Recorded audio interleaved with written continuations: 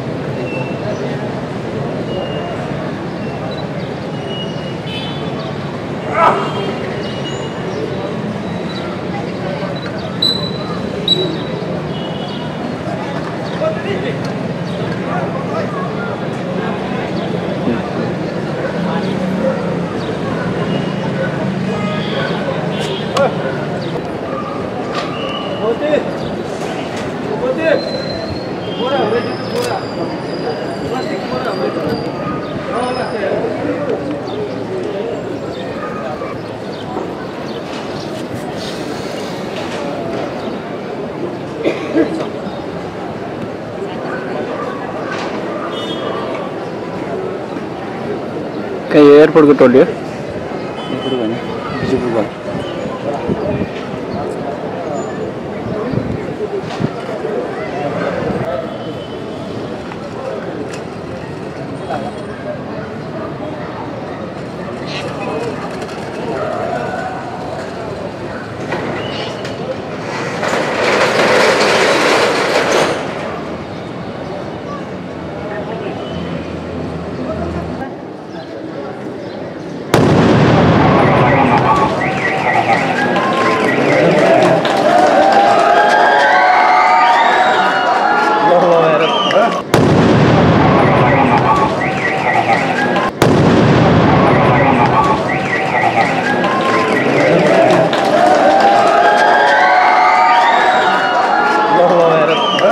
दर्शकबिन यहाँले स्क्रिनमा देखिरहनु भएको छ फेवा टेलिभिजन मार्फत पोखराको मुख्य चोक सभागृह चोकमा प्रेसर कुकर बम भेटिए पछाडि नेपाली सेनाले भर्खरै डिस्पोज गरेको छ त्यसलाई र आसपासमा नेपाली सेना यहाँले देख्न सक्नुहुन्छ। करिब साढे दस बजे मात्रै नेपाली सेनाले यो बमलाई डिस्पोज गरेको छ र निकै धमाकाका साथ पड्केको आवाज हामीले सुनेका थियौँ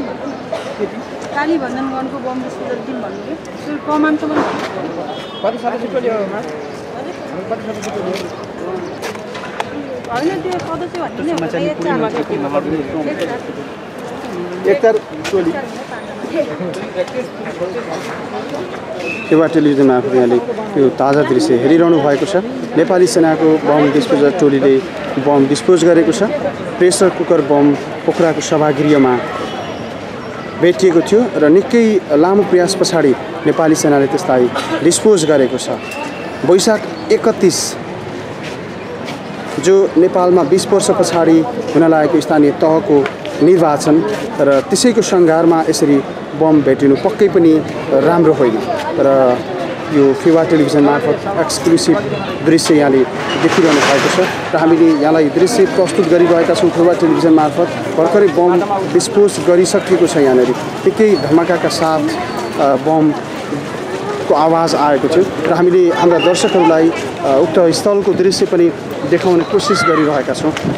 दर्शकबिन हो यही स्थानमा भर्खरै बम डिस्पोज गरिएको थियो र हामीले फेवा टेलिभिजन मार्फत दृश्य यहाँलाई प्रस्तुत गरिरहेका छौँ। दर्शकबिन यही स्थानमा भर्खरै बम डिस्पोज गरिएको थियो। यहाँले देख्न सक्नुहुन्छ। फेवा टेलिभिजन मार्फत हामीले यो ताजा यहाँलाई प्रस्तुत गरिरहेका छौँ। यही स्थानमा भर्खरै बम डिस्पोज गरेको नेपाली सेनाले र निकै धमाकाका साथ यो यसको विस्फोटको आवाज आएको थियो र हामीले हाम्रा दर्शकहरूलाई यो ताजा दृश्य पोखराको सभागृहबाट सम्प्रेषण गरिरहेका छौँ दर्शक महानुभाव यही स्थानमा ब भर्खरै मात्र नेपाली सेनाले बम डिस्पोज गरेको थियो र डिस्पोजको दृश्य हामीले तपाईँलाई प्रस्तुत गरिरहेका छौँ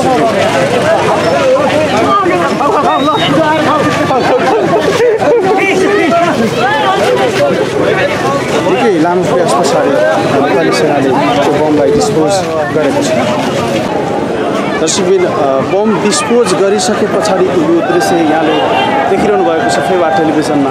निकै लामो प्रयास पछाडि नेपाली सेना नेपाल प्रहरी सशस्त्र प्रहरी लगायतको संयुक्त सुरक्षा व्यवस्था यहाँ कडा गरिएको थियो र नेपाली सेनाको बम डिस्पोजर्स टोलीले यो बमलाई डिस्पोज गरिसकेको छ। पोखराको सभागृह चोकमा भेटिएको यो बम र यसलाई नेपाली सेना डिस्पोज गरिसके पछाडिको यो दृश्य हामीले हाम्रा दर्शकहरूलाई देखाइरहेका छौँ। फेवा टेलिभिजन मार्फत।